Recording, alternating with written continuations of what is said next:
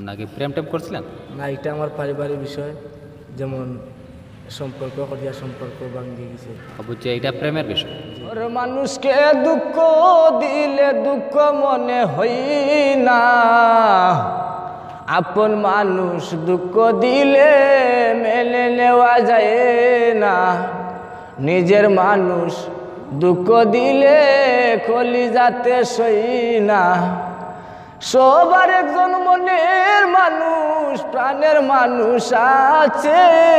মন প্রাণ উজার করিয়া ভালোবাসে তাকে। সবার একজন মনের মানুষ, প্রাণের মানুষ আছে।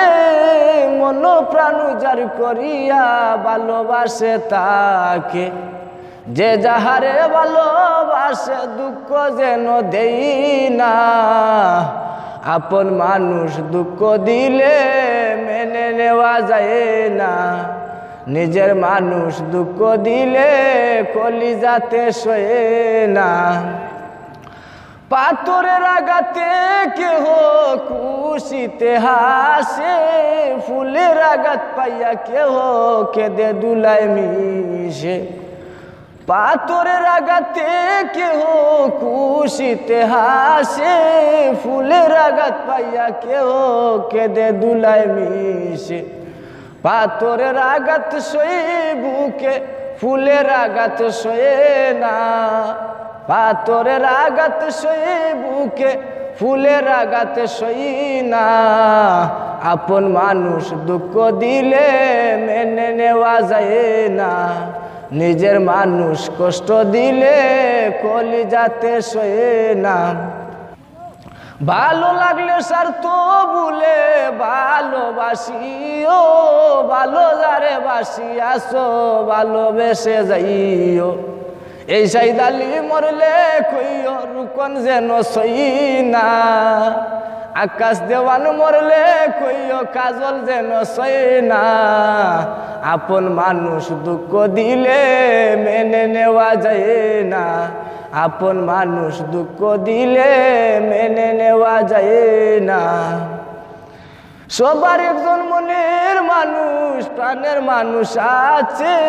মন প্রাণ উজার করিয়া ভালোবাসে তাকে। আকাশ দেওয়ান মরলে কইও কাজল যেন সই না। আকাশ দেওয়ান মরলে কইও কাজল যেন সই না। আপন মানুষ দুঃখ দিলে মেনে নেওয়া যায় না।